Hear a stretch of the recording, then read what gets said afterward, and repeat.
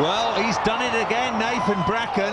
Another change of pace completely deceives Chris Gayle.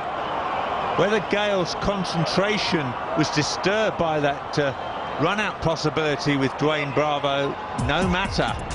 Gayle goes for 37. Bracken fighting back single-handedly for the Aussies. It's 80 for three.